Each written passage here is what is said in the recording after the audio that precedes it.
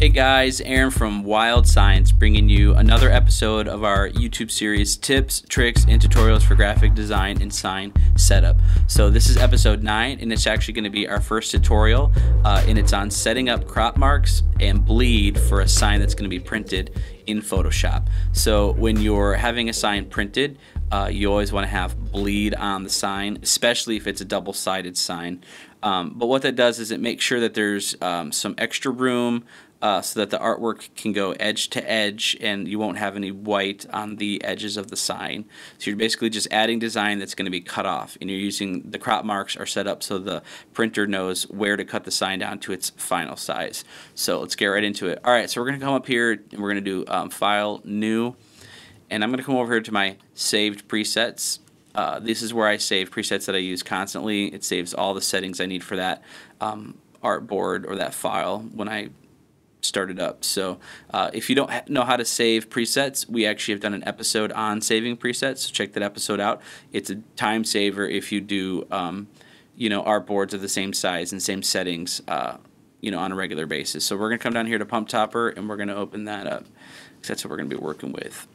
All right. So what you saw there real quick was the art that we're gonna be putting in this uh, in a second here. So I'm zooming out a little bit. Okay, so here we go. So uh, what we want to do is start by making some guides. So we're going to go up here, go to View, and we want to make sure that Extras is on, Rulers is checked, and Snap is checked. So make sure those are all checked, and we're going to make some guides. So we're going to come over to the ruler, we're going to click and hold the mouse and drag guides. And uh, the guides will snap. That's what we turn snap on. Guides will snap to the edge of the artboard. Um, so again, we're starting with the final size uh, that we want our sign to be. So I want this to be 12 by 20. So that's what we're starting with is a 12 by or 20 by 12 uh, rectangle. Okay, so I got the guide snapped to the edges there. We're going to come up and we're going to add uh, some bleed for some more guide marks. So we're going to go image, canvas size, and we're going to make this. Um, so basically, I want a half inch bleed on both, on all the sides uh, of the artwork. So I'm gonna right now I'm gonna only add a quarter inch, which is an eighth on each side, because we're gonna do it twice. If you don't know how much bleed to add, because uh, it does vary on sign size, what you should probably do. If you don't know how much to add um, and the decimal points and stuff, the numbers for that. Um, we have a chart that you can download and you can save and use that for reference. I will put a link to our blog page or a blog post uh, in the description, and in there you can download that file. So we're going to make this 20.25 by 12.25. Click OK. All right, so you can see it made our artboard bigger. We're going to drag guides to the new artboard size. Okay, once that is done, we're going to come up and go to image canvas size. And again, we're going to add another 0.25, another quarter inch, so we're going to make it 20 by 5 by 12.5, and we'll click OK. All right, so that's our final artboard size. So the guides are good. We can leave them as is. What we're going to do now is we're going to add a white stroked rectangle around here that the crop marks will sit on, and we can design our art, and it will go, it will flow underneath the crop marks and the white. So we're going to come over here, and we're going to make sure we're on the rectangle tool.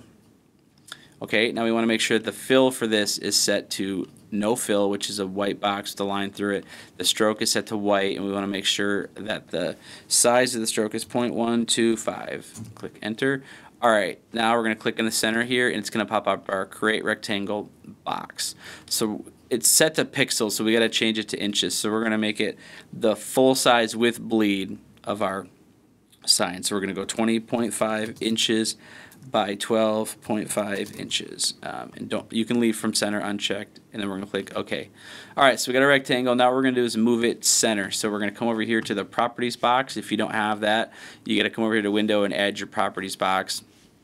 Um, and so we're going to come over, we're going to make the X 0, and we're going to make the Y 0. And again, that's just completely centering the rectangle. I'm going to remove my, remove my white layer so you can see what we've got. All right, so you can see now that we have a white rectangle stroke all the way around. It starts from the edge of the artboard and goes in um, an eighth inch. Um, so what we're going to do is we're going to tighten this up. We're going to actually come up to layer, rasterize, layer, because we want that rasterized. We don't want that changing if we use you know the rectangle tool. We're going to use the line tool, and that would change it. So rasterize it, and then we're going to rename it, and we're going to call it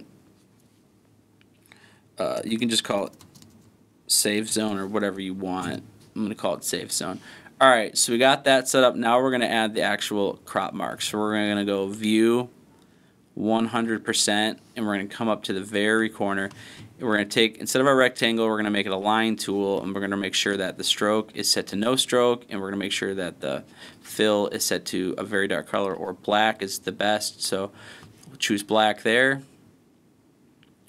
Um, don't worry about the stroke size because we're not using a stroke. So we're going to come up here and basically we want to do little lines on the outermost guides from the white off the edge of the artboard.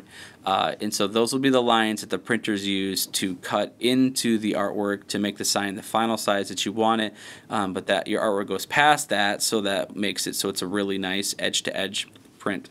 So basically we're going to come up to the edge of this outermost crop mark on the top and the, where it meets the white uh, and we're going to click and hold and we're going to also hold shift because if you hold shift it gives you a, a, straight line and 45 degree angles. If you let go of shift you can do any angle. We want to do straight lines so we're going to hold shift we're going to go straight up and let go. And then we're going to do the same thing horizontally in that the outermost um, crop mark there. Okay we're going to come over to the other side and do the same exact thing. And then um, on the bottom, same exact thing. We're starting from the white and going off the artboard. These don't have to be exactly perfect, just get them as close as you can get them. They're not going to snap or anything like that. So, Okay, once those are done, we want to do the same thing. Uh, we want to rasterize them, so layer, rasterize, layer. And then we're going to rename this layer crop marks. And I can't type. Okay, crop marks. There we go. So now this is the point where you, you're done and you would start, I'm going to remove my guides here. This is the point where you're done and uh, you would start creating your art. I'm going to paste in some art just to show you something I already have done. So I'm going to copy this.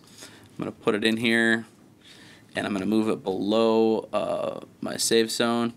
So as you can see, this artwork that I pasted uh, in here is 20.5 by 12.5. It's the full size.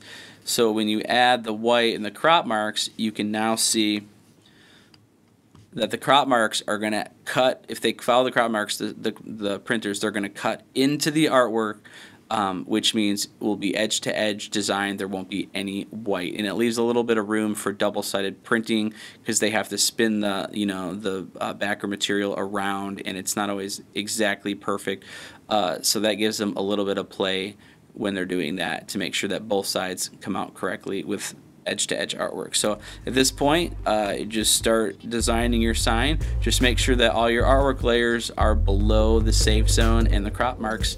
Uh, and uh, you'll be good to go. If this was helpful, please subscribe to our YouTube channel. We're going to be doing a lot more uh, tips, tricks, and tutorials on uh, graphic design and sign setup.